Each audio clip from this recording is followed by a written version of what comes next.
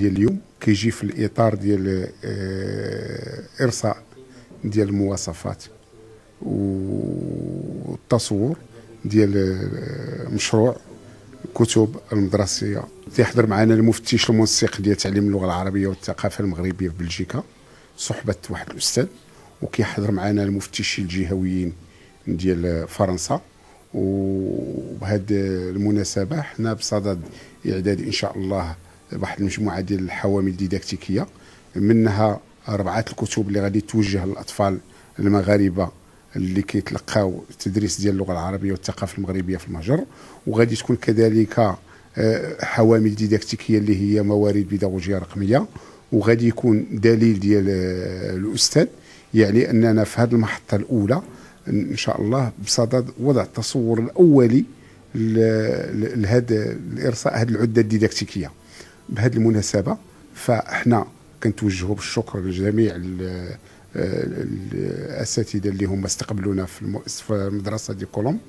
ومن خلالهم كنشكروا السيدة القنصل ديال السفاره والشكر ممتد من طبيعة الحال السيد سفير صاحب الجلاله اللي هو رحب بنا. وما نساوش نشكروا المؤسسات آه، الحسن الثاني المغاربه المقيمين بالخارج.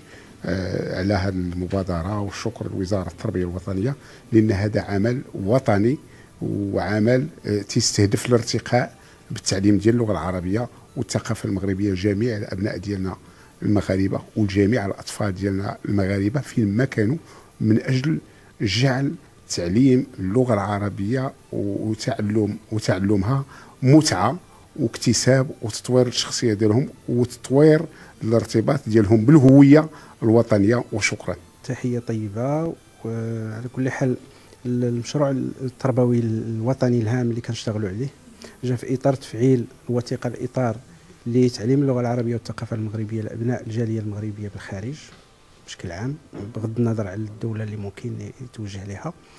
وهذا جاب جا لتفعيل هذه الوثيقة بشراكة ما بين بعقد شراكة ما بين وزارة التربية الوطنية ومؤسسة الحسن الثاني للمغاربة المقيمين بالخارج لإنجاز آه، عدة تربوية فيها كتب مدرسية فيها أقراص آه، تعليمية فيها وثائق مختلفة. وغادي نشتغلوا عليه على واحد المدى ديال سنتين أو ثلاث سنوات إن شاء الله حتى يتنجز هذا العمل هذا. آه،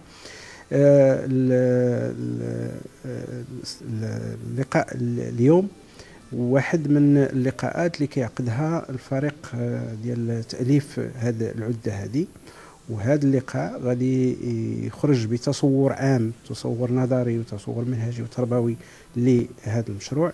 ثم غادي يخرج بنماذج منتوجات آه، تربوية اللي من بعد غادي نطوروها ونشتغلوا عليها ونرسلوها للمؤسسة الحسن الثاني ووزاره التربية الوطنية من أجل المصادقة عليها ومن أجل تطويرها. وبهذه المناسبة هذا العمل كيتم الاشتغال عليه آه، تحت إشراف سفارة المملكة المغربية بفرنسا وباحتضان آه، القنصلية العامة للمملكة المغربية لكولوم وباستضافة من من آه، الجمعيه جمعية آباء وأولياء التلاميذ للمدرسة المغربية الكولوم وكذلك من الادارات المؤسسة والأطر التربوية والعاملة بها.